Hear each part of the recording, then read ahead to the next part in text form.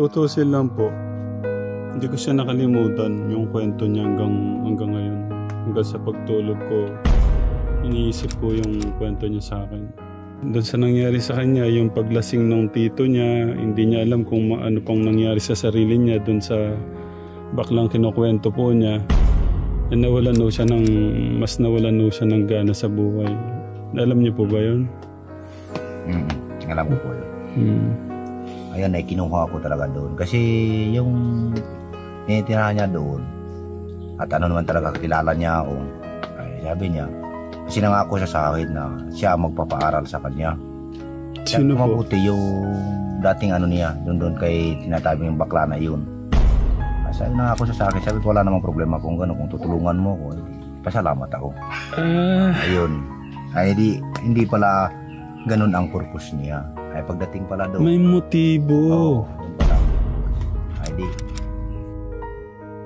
Hmm, doon sa Hindi ko alam kung ano yung plano niya sa akin. Papaaral ba o gusto niya akong asawahin? Parang ganun.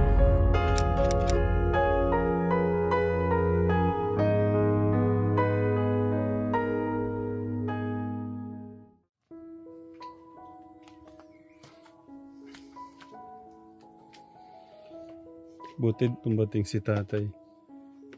Pwede bahag yung anak niyo, tay? Hmm.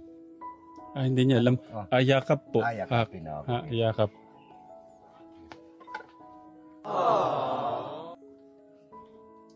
Ang ipit oh. Parang ayaw bita bitawan ni Kuya Mark.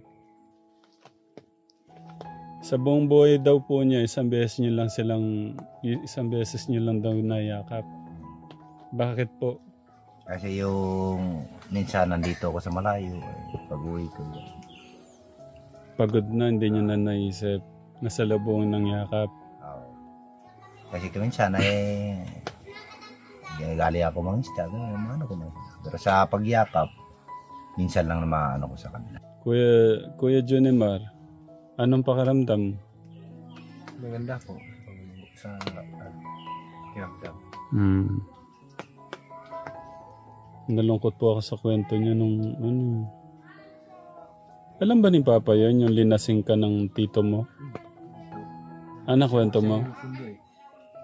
Ah, naalala niyo po yun? Opo. Yung sinundo niyo? O, pinuntahan ko nga eh, kasi ay nanggaling po ako sa pagtrabaho. Ay, hindi ko na alam kung saan, ay, hindi naman umuwi. Ay, Hmm. saan kaya ayun? Ayun.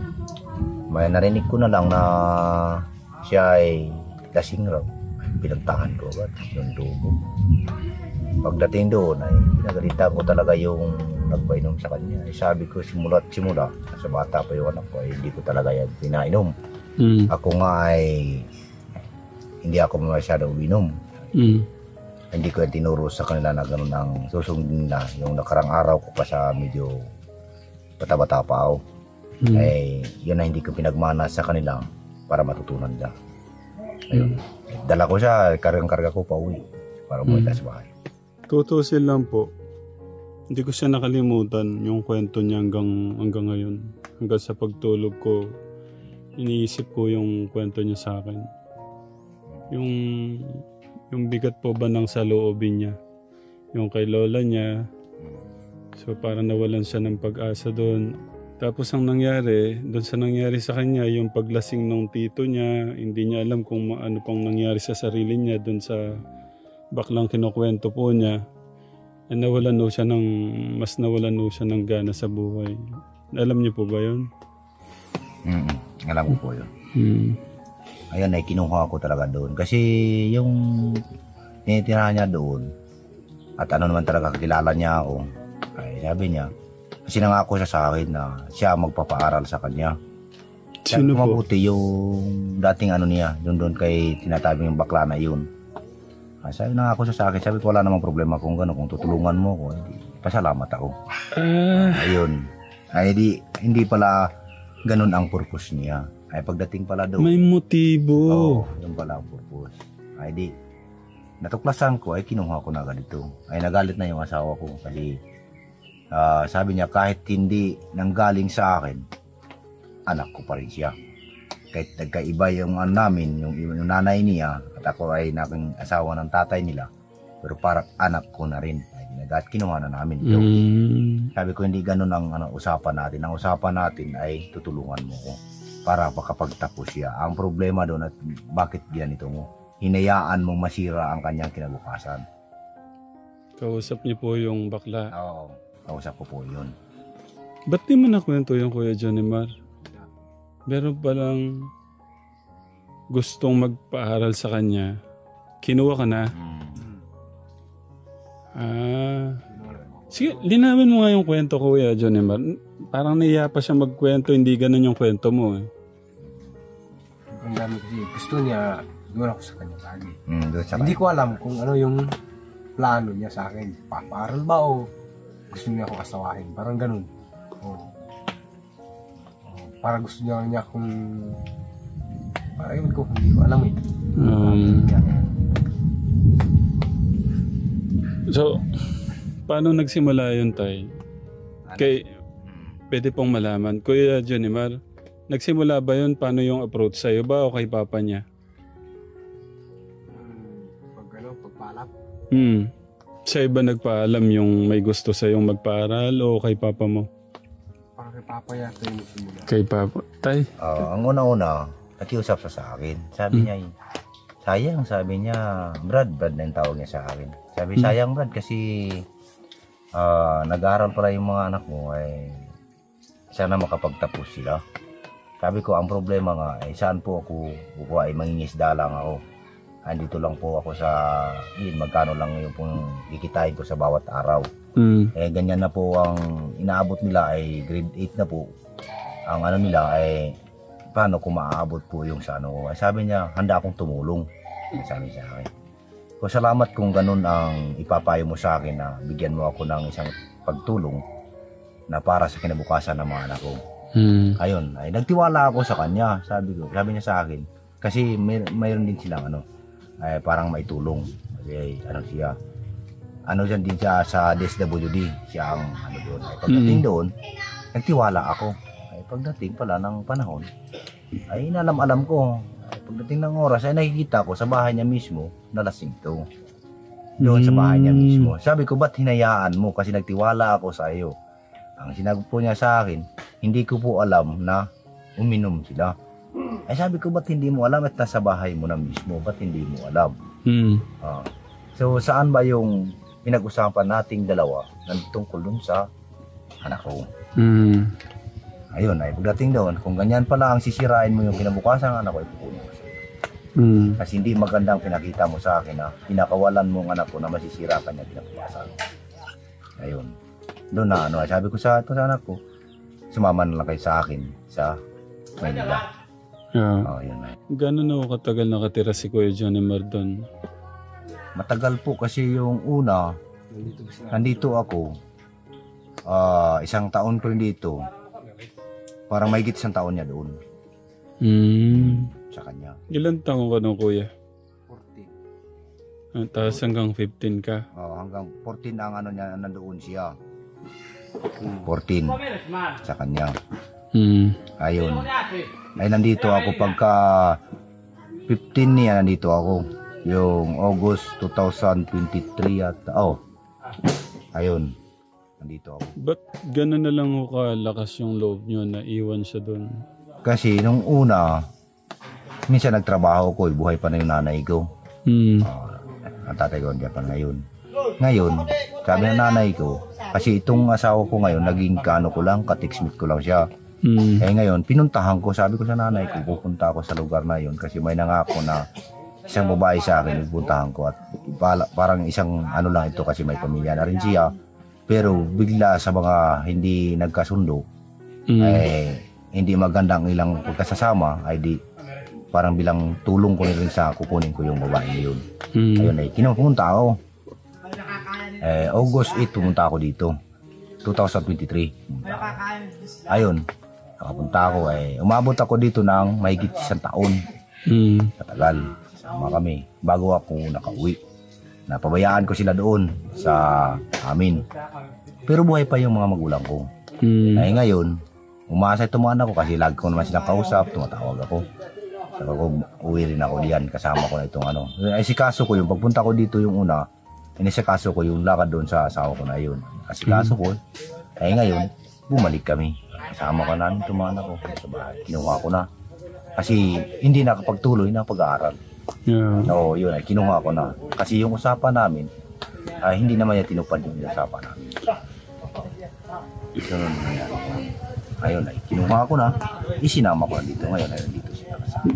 Kuya Ginamar, ibig sabihin hindi pala first time yung nalasing kang ganon? Yun ang una. Ayun na yung una. Ayun naman, buti naman, tay. Ano, dumating ko kayo nung araw na yun.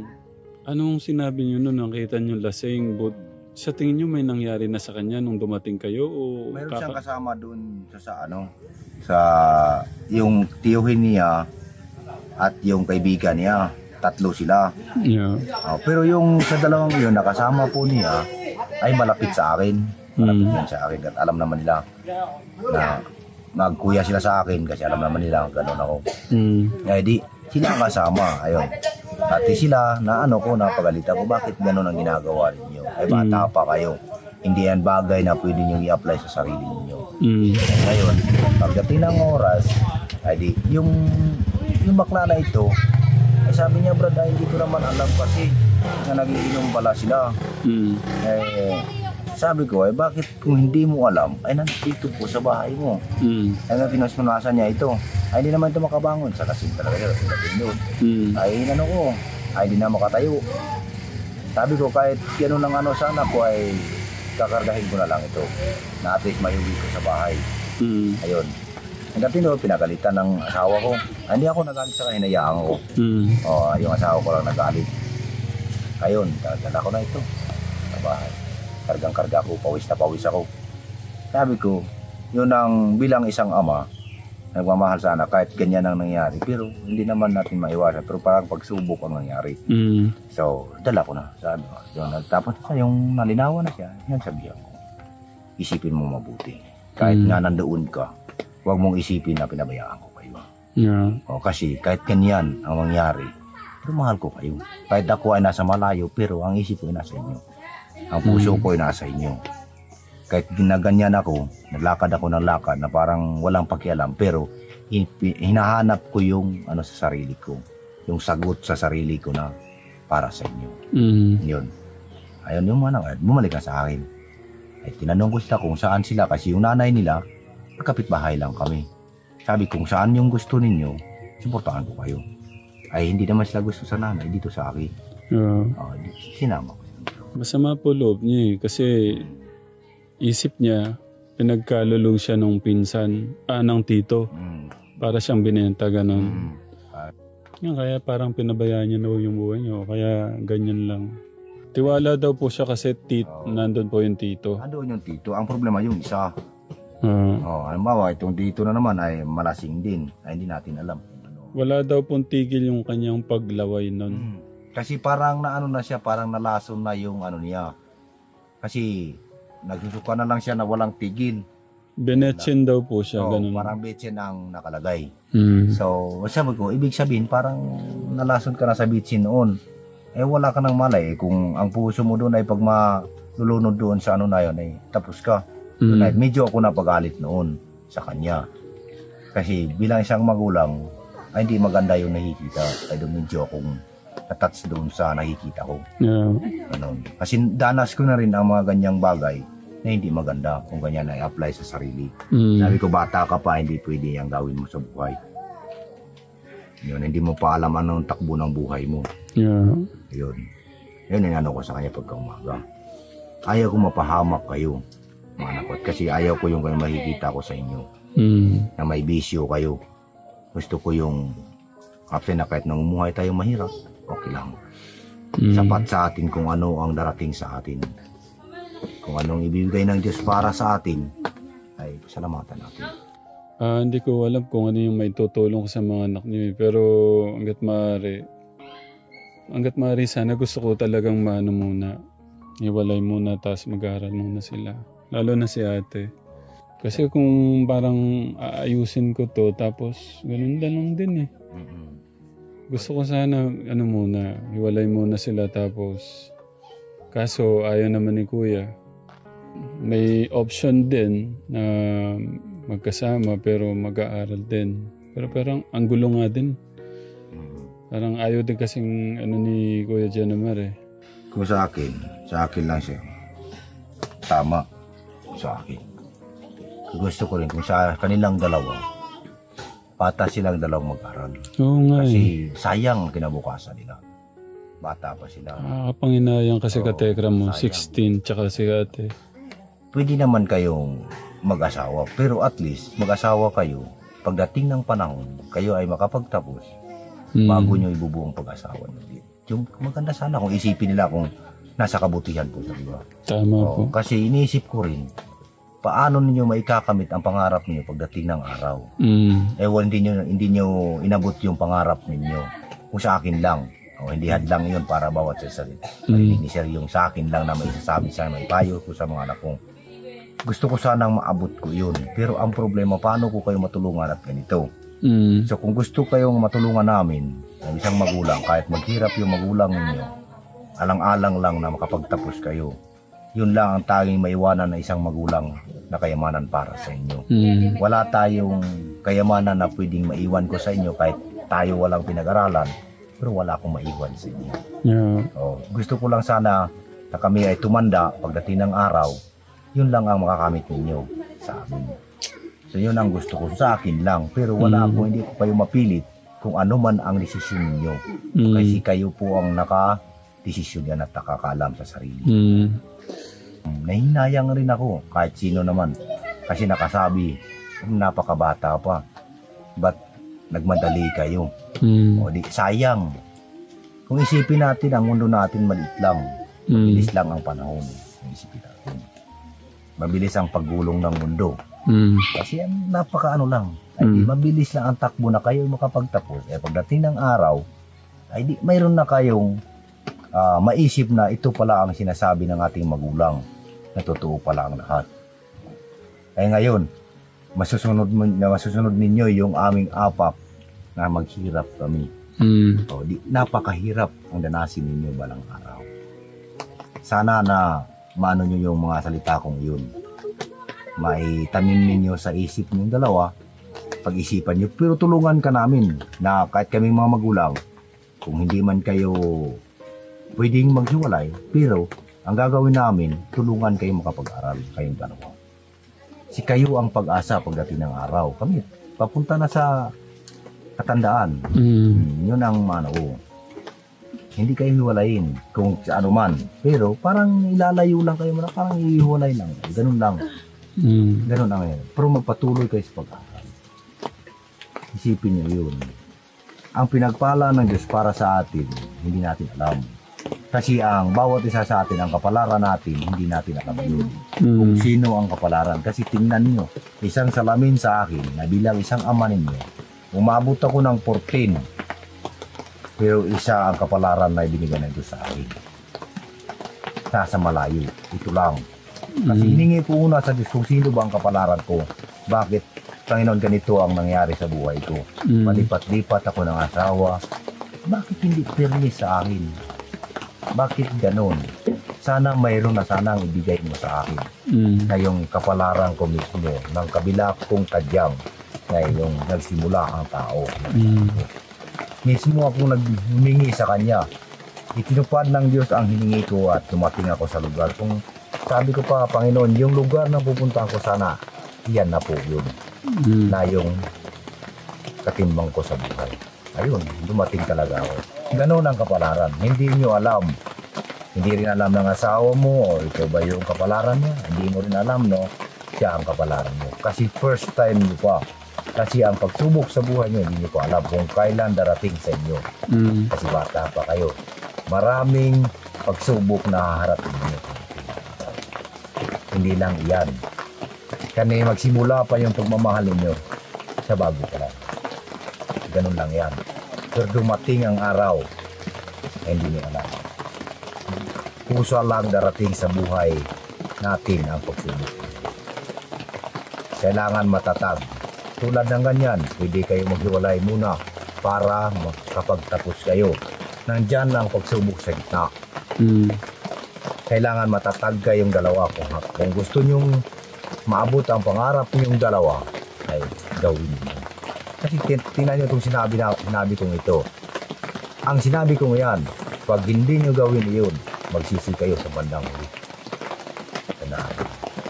Kung baka masabi nyo mamaya, sana nakikinig ako kay tatay kasi tama ang sinabi ni tatay. Mm. Kasi nandito lang ako, habang ako'y nabubuhay, may pag-asa na puli ko kayong tulungan. Bilang isang ama niyo. Huwag na, kahit mahirap tayo, kahit kunti lang mahawakan natin, at least na hindi tayo pabayaan ng Diyos na hindi tayo tulungan. Tulungan tayo. May Mm. kunting mga biyayain para sa atin na nagbigay. O, bigyan tayo ng si- ah, 50 pesos. O, pasalamatan natin. O. Ito yung nakayanan ng tatay, tatay niyo. Mm. Pasalamatan natin. Hindi natin nasabi na, ay, mat ganyan lang. Mm. Kulang pa lang ito sa baong ko. Pero pasalamatan mo yun. Kasi malaking halaga na yun. Mm. Kahit kumita pesos siya. Ganun lang. Yun napayo. ko. Kasi anak ko na kayo, hindi naman sa ano taga kung gusto nyo mag-aral. Hindi lang din ako tutulong. Ganun lang. Kasi hindi kayong dalawa, pili kong tulungan ako kapag aral kayong dalawa. Mm.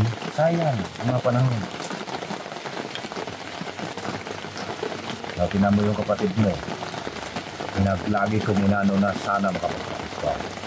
Kasi dating ng araw mamaya, yung pag-asawa ay darating din yun ang Mm. mga pag-asawa. Hindi yan sa pabilisan. Hindi, kung saan darating lang yan sa buhay mo. Ganun ang sinabi ko sa kapatid mo. Tulad sa inyo, asawa mo, ay asawa mo pa rin yun. Kasi ang Diyos kasi may hinanda yan para sa iyo. May hinanda yun. Mm. Siya na talaga hinanda para sa iyo. Napakalaking pasalamat mo. Kasi siya talaga para, para sa akin. Doon mo talaga mararamdaman ang tunay na pagmamahal. Mm. Ganyan yung makakaya mo. Kasi kung nagmamahalan talaga kayong dalawa, ang nasa puso nyo, nakatanim na yun. Ang nakatanim na yun sa puso, puso nyo, hindi na aanihin ng iba. Oh, naintindihan mo yung payo ni Papa mo? Opo. Ano naintindihan mo? Tungkol sa pag-aaral po. Pinagsisisihan nyo na nadala nyo yung anak nyo doon. Kasi parang doon nawala yung ano nyo. Oo. Nasabi ko, ah, kasi yung bawat salita, kasi nag-uusap kami noon, nasabi na tutulog siya. Pero sabi ko, ako ay pumayag ako kasi ang bawat salita may halaga. So, ang ibig sabihin, sabi ko ay hawakan kong salitang iyon kasi may halaga yun. Mm. Kasi salita yun. Pero hindi pala ako naano doon na parang isang ano lang pala yun na may purpose na hindi ko alam. Ah, kasi parang wala akong tiwala sa sarili ko kasi bakit pinayagan ko. Mm. Pero sabi ko okay lang kasi parang pagsubok lang sa akin pero kakayanin ko pagdating na. Yun. Mm. Yung naano ko dun sa ano na yun, usapan namin. Akala ko ay totoo ang kanyang binigay sa amin na payo na tutulong siya pero pagdating para ng araw may purpose po pala siya na hindi maganda doon sa anak ko. Kasi ano na si tatay, experience na siya eh. Mm. Ah, pero alam, pagkakalam ko, para magkaedad lang tayo tayo. 40, ilan po kayo tayo? 40. Oh, matanda pa pala ako sa inyo ng isang taon. Pero mas ma ano yung ano niya, maganda yung payo niya. Magulang niyo kasi siya, mas kilala kayo. Kasi 16 pa rin siya, eh. dapat nga sa kanya babalik ka nga din sa pag-aaral eh. Mm. Da- Ayaw niya talagang bumalik sa pag-aaral. Eh, Sabi ko nga, Hindi, ang plano ko din talaga sana. Kaso naisip ko ngayon, 16 pa lang pala siya. Ang plano ko kasi naghahanap nga akong pwedeng mag-drive sa akin. Mm. Ma-enroll ko siyang, kaya lang 16 pa lang, hindi talaga siya pwede. Kung ano sana, kung mga 18 siya, i-enroll ko siya sa, yung para pwede siyang maging driver. Mm. Kasi hindi, 16 pa lang siya, hindi pa pwede. Para may kasakasama akong driver, tsaka si Kuya Ross. Hayaan na natin sir, ipagdasal na lang natin kung sila ay mabigyan ng ano ng Diyos sa kanilang isip. Magdarasal muna Mm. para siya ay hingi tayo sa Diyos na sana kasi hindi pa nila alam kasi yung tungkol sa kanilang ginagawa ngayon kasi parang ano lang biglaan yung ano nila. Ah, ipagdasal ko na lang sana gabayan ng Diyos ang kanilang buhay na sila makapag-isip mag-asawa kung anong dapat gawin. Tama po. Oo. Yun lang dapat kong maitulong din sa kanila kung yan ay kahit ako ay nagtigpayo sa kanila kasi ang isip nila ay parang inano nila kasi hindi pa nila maantimano maturuan ang kanilang puso na pwedeng gawin yun kasi nabigla yung ano nila pero Mm. hindi din ako napakawala ng pag-asa na sana ang Diyos ay hindi nila kami pabayaan si darating ang araw na sila ay gabayan ng Diyos na makapag-isip ng mabuti na Mm. para silang kinabukasan. Kasi paano din nila kung wala tayong pinag-aralan, paano natin maikakamit ang payo ng Diyos para sa atin? Kasi hindi lang ang bagay na itinuro ng Diyos sa atin na sasabihin, ayan na ayun, hindi. Mm. May malaking halimbawa ang pagtuturo din ng Diyos para sa atin. Kailangan mayroon tayong, kasi ang sabi ng magtuturo na kailangan makapag-aral para yung salita ng Diyos at panghalimbawa ng Diyos, maikakamit mo at alamin mo kung Mm. anong katotohanan. So paano? O nakikinig lang tayo sa payo, pero ang payo, hindi natin binigyan ng halaga, walang kabuluhan ang lahat. O, paano natin yun? Nakikinig tayo, pero ang problema, hindi natin binigyan ng halaga at hindi natin alam kung ano ibig sabihin noon Mm. o ano ang gusto ng Diyos na mangyayari. Ngayon, na pakinggan natin, ah, yun ang gusto ng Diyos na gawin pero hindi mo ginawa. Mm. Kasi hindi naman binigyan ng halaga. O paano mo yun? Ngayon, ngayon na mas naintindihan at naunuan na ni tatay. Kaya gusto niya, pilit niyang ibinabahagi sa inyo, tinuturo, pinapaunawa yung mga yun. Ano yung masasabi mo sa payo ng papa mo, kuya? Okay lang po. Maganda naman po yung payo niya. Mm. Ate, Ganun din po. pagtulungan nun nating pangaralan yung dalawa para sayang po yung ano. O, sayang kinabukasan. Mm. Yan mo po. Sige tayo. Thank you. Okay. Bye.